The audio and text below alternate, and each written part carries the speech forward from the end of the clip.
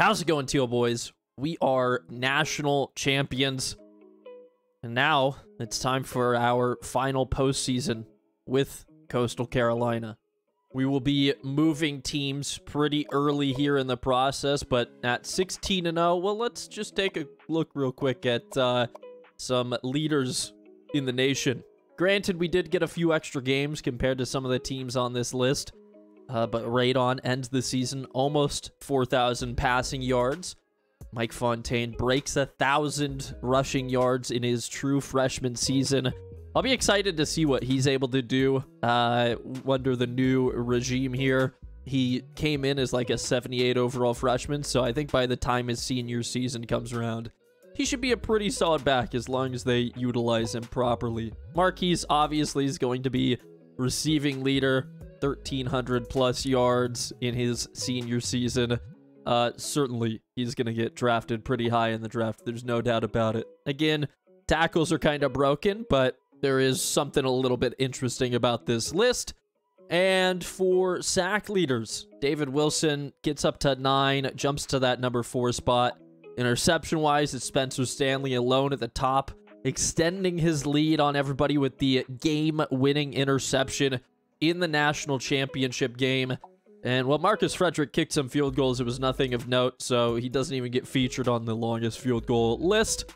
And we end as a just a very solid team. Uh, we do have a coach level up that we could put into. I've thought about it a lot, and I think what we're going to do with the insta commit is I'm going to allow myself one level up. A 5% chance of an insta commit is not much, uh, but I think once you get to that second and third level with the 10 and 20% chance, it does get a little too cheesy. Uh, but I will allow one level into the insta commit, and then from then on, we will have to. Uh, well, we'll have, what, four levels that we could put into the rest of the recruiting, but we'll start working on that game management, or who knows, maybe we'll change it up a little bit when we move to our new school, but for now, that's what we will do with the one level up. Let's go ahead and advance to the uh, off season. See how everything goes. We'll go to the end of the bowl season. We'll take a look at the final rankings, and we'll look at the bowl results there as well. And we've set some records as well. Radon Randall with a individual season uh, QB rating record at 210. He breaks Sam Howell's record of uh, 201. So that's, uh, that's an NCAA record. Radon also sets the new school season passing touchdown record with 41. Uh, easily surpasses Tyler Thigpen's from 2006 uh, 41 passing touchdowns on the year.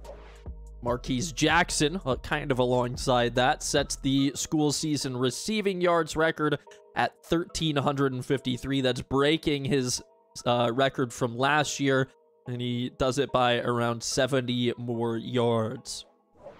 Marquise also sets a school career receiving yards record with 3,400, easily surpassing Jerome Simpson's previous record of 2,700. So those guys have managed to permanently etch their names into the record books. How about uh, our final top 25? We end the season as the unanimous number one team in the coaches poll, followed by West Virginia, Oregon, Tennessee, Oklahoma, USC, South Carolina, Arkansas, Florida, and Cal. And I'm not going to say the SEC bias is real, but five of the top 10 being from our conference certainly uh, doesn't hurt that narrative. I'll scroll through. You can pause to see if your team is there. Media poll, we are the unanimous number one as well. Uh, pretty similar, except Oregon's down at fifth. Uh, Tennessee, South Carolina at three and four. How about a look at the bowl results to see uh, what everything is? Again, we'll just kind of scroll through the list. So if you see your team, you can know take a look at some interesting ones. A conference matchup between Wisconsin and Michigan in the Gasparilla Bowl is very interesting. Wisconsin, the ranked team, manages to take that one. Elsewhere, we have that's kind of an interesting one. Notre Dame Stanford, a rivalry game in the Holiday Bowl. The Cardinal come out on top. Notre Dame continues to be subpar in this dynasty, only seven and six on the season. They just barely made a bowl game. Uh, Cheez It Bowl, Texas beats Duke. What else do we have? Oklahoma State losing to South Carolina in the Texas Bowl. Uh, interesting look there. UCLA beats Purdue in the Red Box Bowl. Cal beats Kansas State in the Alamo Bowl. An interesting matchup for Penn State as they are able to beat Marshall in the Cactus Bowl. Uh, you would kind of expect that to happen, but interesting uh, that it came down to that. Washington will end the season with a losing record after losing to Virginia Tech in the Tony the Tiger Sun Bowl. Uh, Rutgers made it to a bowl game, finishing 7 and 6, but losing to Arkansas in the Music City Bowl. Florida Illinois play in the Liberty Bowl. Uh, we had multiple appearances, and there's some interesting ones kind of near the bottom. I think our biggest one uh, in this postseason that wasn't the playoffs was this Citrus Bowl between Oregon and Ole Miss, and the Ducks come out on top 38 to 17. Uh, so maybe that's why they end up number three in the polls, is they only had to play one bowl game.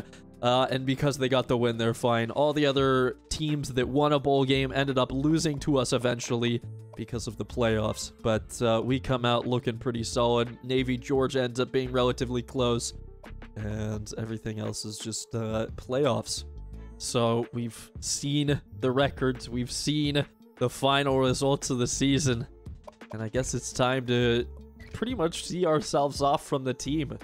After we leave, uh, tons of XP gained in that past week, and we have been offered another uh, contract, but we're going to explore our options in the coaching carousel all of that XP actually almost got us another level up, so that would be super useful, but uh, we're going to move around a bit. Uh, not only us, but there's a good chance the Coastal has a completely fresh coaching staff because Dave Aranda and Mike Yurcich are both looking at being poached, but uh, I'll, uh, I'll jump back in when we're at our team.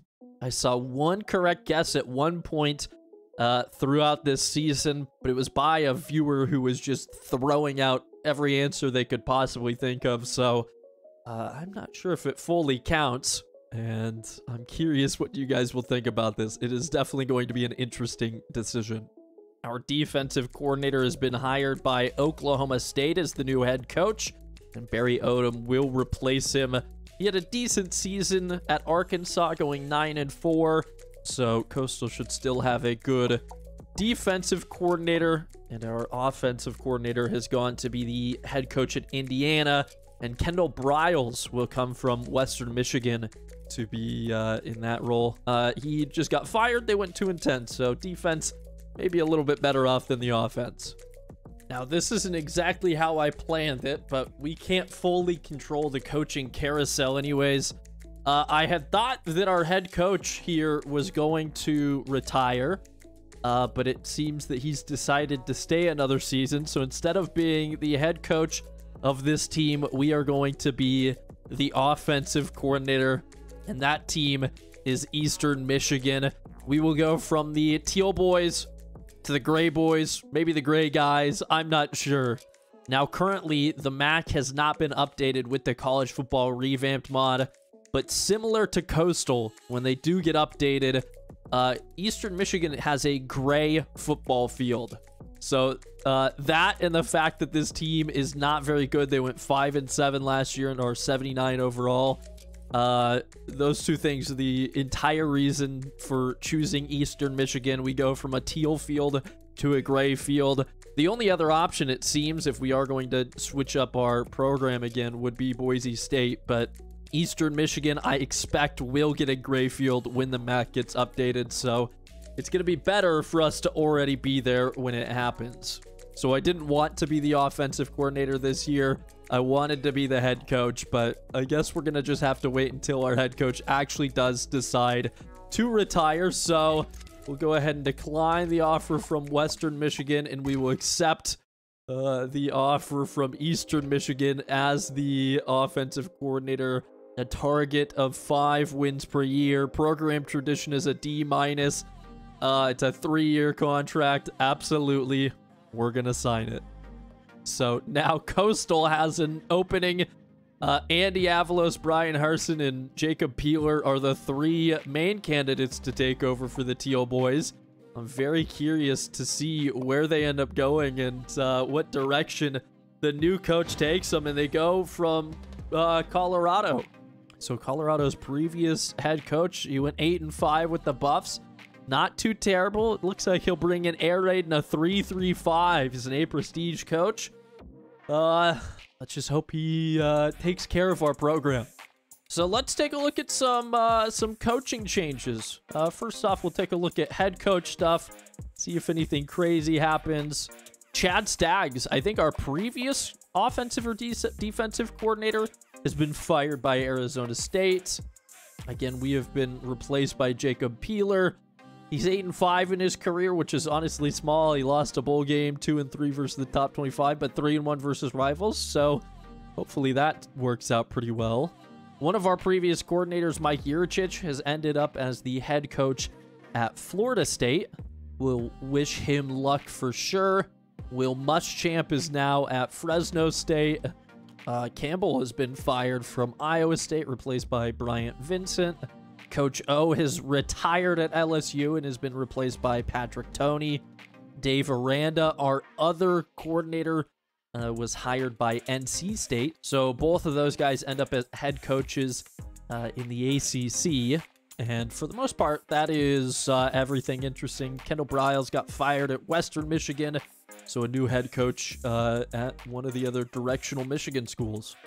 It feels really weird, but that's where we where we're at. And one of the things that I was kind of excited about, if anybody noticed while scrolling through the stats, passing leaders was nothing to write home about, nor was rushing or receiving, but tackle leaders, the fifth leading tackler in the country and the highest outside of our glitchy coastal teal boys is uh, W. Benjamin, who ended the season with 53 solo tacklers. So realistically, we have the nation's leading tackler on our side. Uh, we have a guy up there with sacks as well, Winston, number 16. I mean, obviously, some of these guys uh, could be graduating, but I think in general, that's good news for us. So we can move on to the next stage now that you guys know uh, what team it is that we're with, and we can go ahead and see which one of these guys are leaving. One more thing that I'm super excited about being able to do this offseason is we can finally use the new uh, NCAA 14 Dynasty tool with our Dynasty. This is the first offseason uh, since this has been released. There's a video uh, up in the top right if you want to know how to use this yourself, but we can uh, change the way that this works, and it should make things a little bit more interesting. So we'll create a new file for it, and we can go ahead and change the draft declaration now. This is the same process you would use if you were going to uh, do the playoffs, so the same exact file and folder uh, we can just go in and grab our USR data file, and it will load up, and it's going to change uh, what players decide to declare. And actually, this is going to be kind of our first look at our roster, so uh, that'll be a little bit interesting, or at least maybe last year's roster. So we are just a one-star school, 19 players leaving, none entering the draft, uh, all of them leaving because of graduation, which is actually really good news for us. Uh, we lose uh, some decent looking players, but the highest is an 86 overall. Uh, and then you drop down to a 70 overall. So nobody world beating, which is really, really good for us. And what's great about this tool is we can also see what it is that uh, Coastal is doing throughout all of this, and we can see where our guys are going to go. So John Taylor, the 99 overall defensive tackle, is a projected first-round pick. Marquise Jackson is a projected first-round pick. Radon Randall is only a redshirt sophomore. He is declaring for the draft, so he will not be playing in the next season. Uh, he was, what, three points shy of winning the Heisman. He has led the team to back-to-back -back national championships, right? And he is declaring projected for the first round. Malcolm Williams, another wide receiver, projected for the first round. Our backup quarterback, who got barely any uh, snaps in this past season, David Williams, projected for the second round. Durham Finch, uh, one of our viewers and a big supporter of the channel. His created player, the 93 overall right end, is going to be projected for the third round. Uh, and then we're going to have, what, two other guys, Robert Gray, the center, and Kale Mackey, another uh, viewer-created player, is going to go in the fifth round. So uh, if you want to be like Durham or Kale, uh, you can go down and check out the membership stuff, and maybe you can get yourself uh, onto the Eastern Michigan team. Otherwise, let's see. We have Don Riley deciding to stay for a year, which is good for him. I think he'll bump up his draft stock quite a bit. Uh, and then just other guys graduating. Bo Lamb, Gamara Kelly, names that we would see every once in a while. JJ Barr, who, believe it or not, was only a 76 overall fullback, did so much for us. Unfortunately, not going to go pro, but uh, eight players entering the draft, two of those being early entrants. So we can just go ahead and double check that that worked by going into this uh, players leaving. Everything looks fine to me. Uh, it would have been fun to play with some of these guys, I'm sure, but uh, hopefully our new quarterback is a little bit better than Matt Rose. So we can now advance to the next stage, go to our transfer requests, and we will be exporting the draft class. Uh, maybe look for a video relatively soon on this specific draft class. I've got a fun idea in mind for that. Uh, well, let's take a look at the draft results. I don't think that anything will be changed here, but there's a chance that Coastal could uh had something different happen. Uh, but yeah, that looks pretty much the same. I don't know, was Durham projected for the first round before?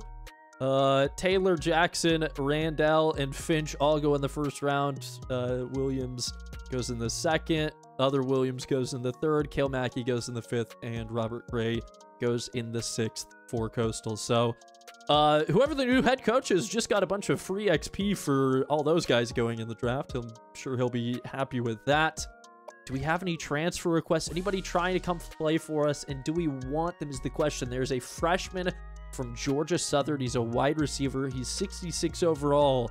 Does he have any crazy skills? He's not super quick. Um, his catching is only 65. I'm going to say no to Jonathan Wallace. Hopefully we don't have any problems with uh, too few players in the strong safety. Uh, not super slow. He's, he's decently quick. He can tackle relatively well. He's not great at coverage or uh, play recognition, but I mean, he can kind of hit people and he can kind of catch the ball. Uh, he's a freshman coming over from NC State. I think we'll accept him. And while we're here and while I'm thinking about it, we have some offensive coordinator level ups to do. So uh, Brian Van Gorder is our current head coach. I'm expecting him to retire this next year, and we should take over the program. Uh, Andre McDonald is our defensive coordinator, just a level five. Not going to do a whole lot for us, but uh, as an offensive coordinator, I'm going to expect us to have a relatively high-powered offense. Let's get our line nice and good. Uh, let's get the running going. And then we have two upgrades. We want mathlete or athlete. I'm going to go with athlete right off the bat. Uh, and that's what we're going to look like as offensive coordinator Brandon Goon. It's going to be a lot different this season. Uh, different than I was expecting it to be, but it should still be pretty dang fun. Let's go ahead and advance towards our next stage in the recruiting. I'm curious to see if Coastal ends up with a good class or a better class than maybe uh, we left them with the position. And I'm curious to see what our season's going to look like. I At one point, I looked and there was a decent class for Eastern, but I'm not sure if that is held up. 63rd in the nation isn't terrible.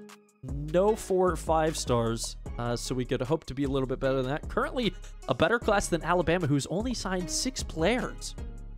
That is bizarre to me. What are the six players is kind of crazy. Uh, where is Coastal sitting right now? And then we can see where they uh, go to. They are the number 15 class, seven four stars, three three stars for a total of 10 players. Curious to see there where that goes and curious to see what we can do uh, maybe with some of this, we could... Oh, gosh, not every, everybody's... How many people? Three people? 20 people? 28 people aren't scouted. Oh, my goodness. What are the coaches doing here? Not only that, but look how bad some of these players are. 55 overall.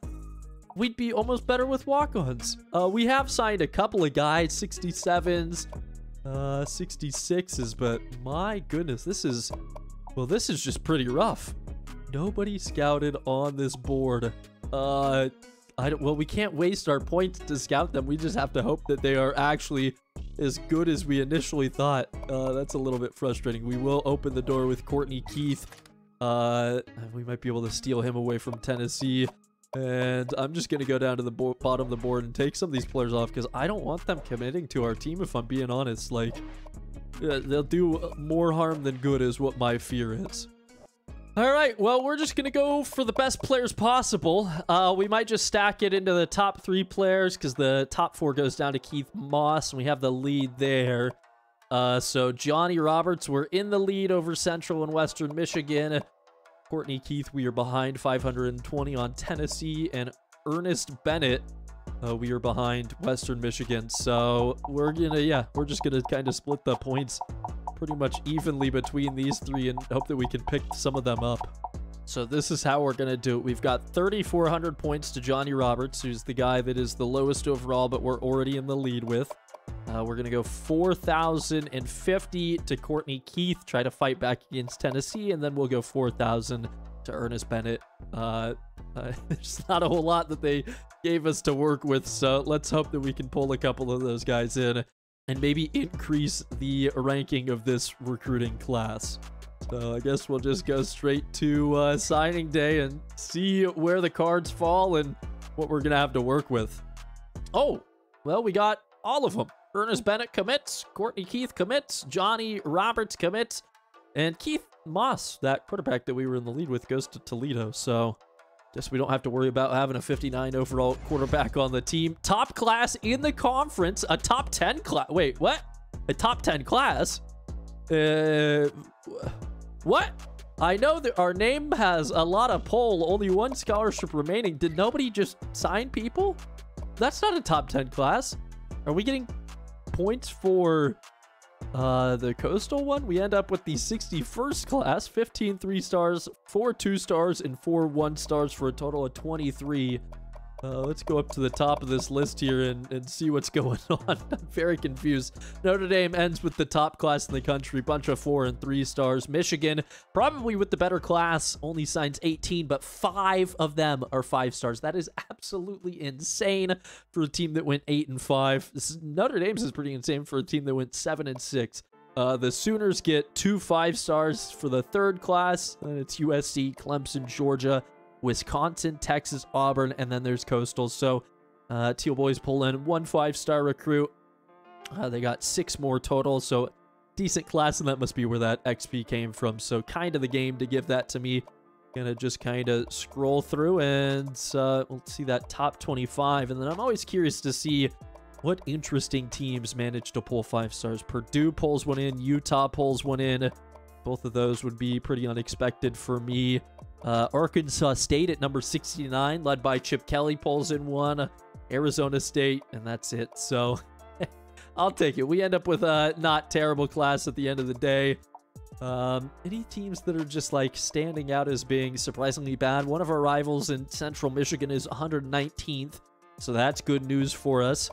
Uh, Vanderbilt down at 113th is pretty rough for a team like that. Uh, Virginia at 105. You feel bad for some of these teams, but at the same time, it's good news for us. Western Michigan also looking worse than us, so that's all we can hope for. Let's go ahead and advance towards position changes, and this, I guess, is going to be where we can first figure out who is even on our team, because uh, we don't know what we're working with. I did see Serge Mitchell when I was looking at the team. Uh, I think he's definitely the best player. He's a senior at 86 overall. I think he might try to carry us uh, on offense. Him and Jesse Wagner should be useful, but let's go ahead and take a look at quarterback. It's Ed Bird, the 76 overall redshirt senior. Uh, we need him to go up because the rest of the guys aren't looking too hot. All three of them are coming in as true freshmen. Uh, we'll probably keep that quarterback room the same. At running back, there's a severe drop off after Wagner. Uh, we go down to Simmons at 69 overall and then 68 with Stan Williams.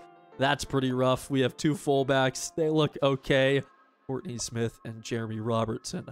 The wide receivers, uh, there's quite a few of them.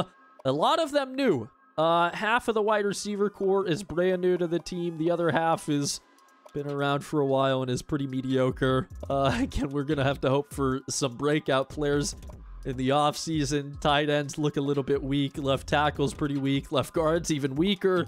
Center's not the best. Right guard also not the best. Uh, but we are going to be moving Johnny Roberts over to the left side just to balance things out there. Right tackles don't look great. How about on the defense? 70s across the board for the top three left ends. Right ends, you got a 71, then a 63. So what we're going to do is uh, we're going to move Josh Jackson over to the right side. And then we'll bring Anthony Parsons over to the left. Get our two deep looking a little bit better. Defensive tackles is where we could be kind of happy. Banks, 81. Dawson, 76. Kind of interesting. Uh, left outside linebacker's not terrible. Middle linebacker's a little bit interesting as well. We've got a gem, uh, JUCO transfer uh, that will be leading the way in Eric Lane, and then two freshmen. The sophomore that is returning is not all that great. At the right side, uh, Wade Benjamin, again, pretty much led the nation in tackles last year. The senior is going to be a tremendous help. Uh, but just in general, we're kind of looking a little bit rough there. Also looking rough in the corner department. My goodness. Highest overall is a 76 from Lorenzo Henry. Uh, these guys are decently quick. Not the best awareness. Uh, how bad is our pass coverage going to be this season is the real question. It's not going to be great. Uh, zone and man aren't all that good. Uh, press is pretty good. Pursuit, maybe not so much. This is this is gonna be rough. How about our safety positions? We've got uh, Samuel Thomas, Terrence Van, 73 to 69. That's bad.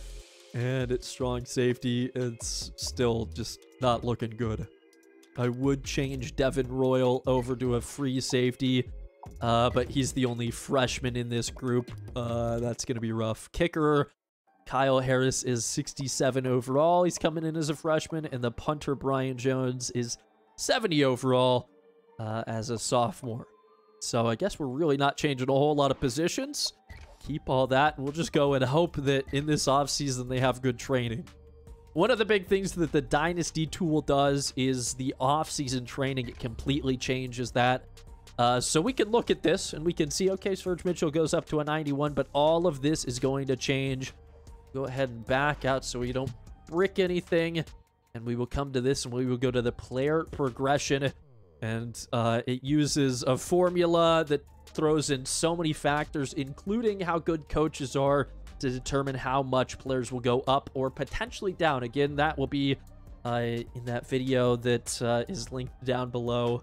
And i'm curious to see there's a chance that a player could absolutely skyrocket on their overall and there's also a chance that maybe our best player and Serge Mitchell could go down. So this is just uh, too much suspense for me right now.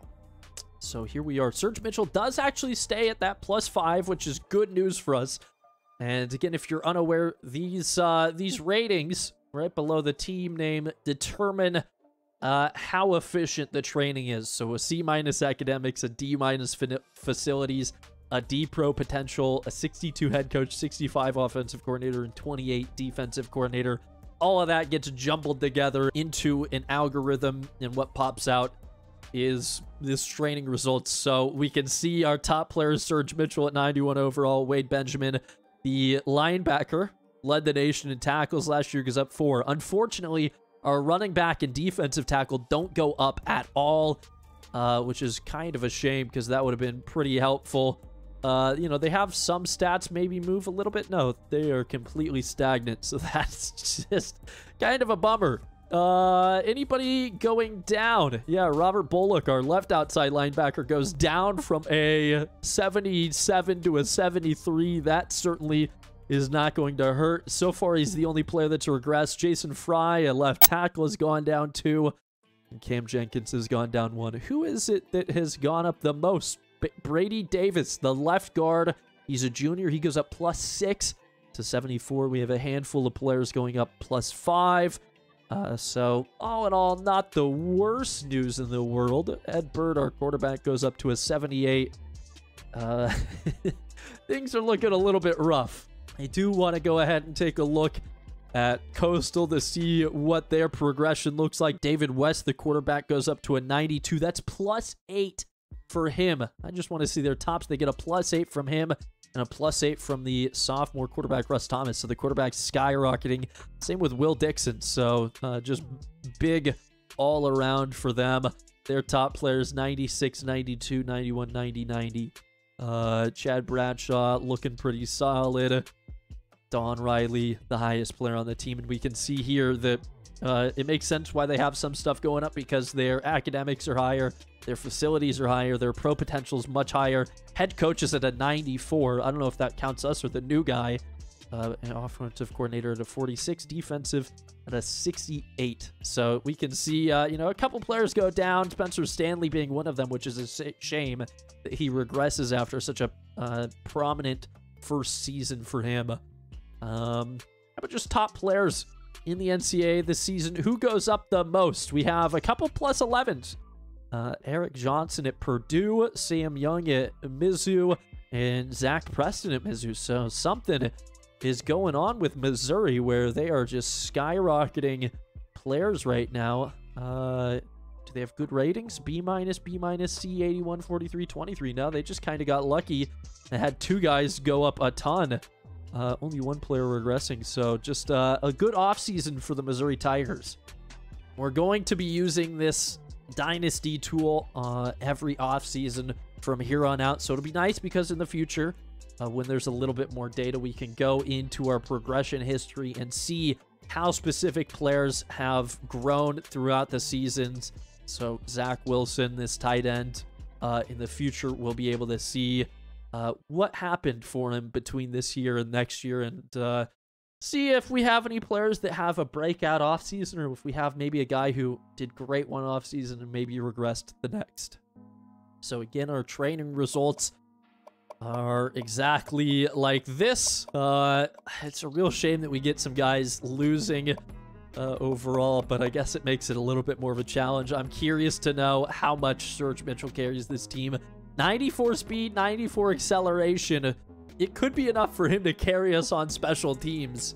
Kind of in the same way that Marquise has done it. Uh, he's slower than Marquise, but the conference opponents we'll be playing will also be much slower overall. It is nice to see Wade Benjamin getting up to that 99 acceleration. I expect him to be a monster on defense for us, so we just have to hope that uh, Ed Bird is able to do enough to uh, to keep the team afloat on offense. So we can advance towards that next stage where we will cut some players, and I think this is going to be pretty easy. Right off the bat, we have five guys that we need to get rid of, and we're just going to cut the worst of them all. Uh, unless we aren't allowed to cut them from a position. But wide receiver John Henley is gone. Uh, freshman quarterback John Miner's gone. Running back Tariq Sanchez is gone. Uh, so is Jason Miller at the corner and John Roberts at the guard spot. Uh, so pretty easy. We get rid of some freshmen that obviously weren't going to contribute. Nothing too difficult there. And now we can move to our custom conferences. I don't think we'll change a whole lot here, but we might change uh, coach levels. Who knows? So we can reset our head coach and defensive coordinator skills. Uh, that feels a little bit too cheesy for me, though, so I've actually decided just now that we're not going to do that. Brian has decent recruiting skills, so hopefully he's able to do something there. He needs to put points into the kitchen sink, but, uh, you know, he's decided that he wants to go a little bit for the game management skill tree, and I guess we'll keep ours the same. Hopefully we level up pretty quick. We get that final athlete skill, and then we can start working on the mathletes. Uh, I think that's going to be it for our offseason. For now, the Big 12 is going to stay around. If we get more details in real life about the Big 12 kind of dissolving, uh, I'm not against replicating that here. Uh, we can throw Texas and Oklahoma into the SEC, but we're going to wait for a season for that. So we'll just go ahead and advance to the preseason now. And I think that we're going to save this bit for the next episode. I'm really hoping that you guys aren't completely livid with my choice of teams. I hope that them having a gray field, uh, just like Coastal has the teal field, is enough for you guys to be fine with that. I really wish that we were the head coach, but a season as offensive coordinator will be interesting, and we'll probably do double headers uh, for this season. It'll be a quick season, and then hopefully next year we can take over the program and run it how we want. So in the comments, I want to know what you guys think about this. Maybe we need a new nickname. Do we go with Gray Guys? Do we go with Gray Boys? Is there something else that you think would work? Let me know. While you're down there, please feel free to hit the like button. Subscribe as well. Both of those things help out the channel tremendously.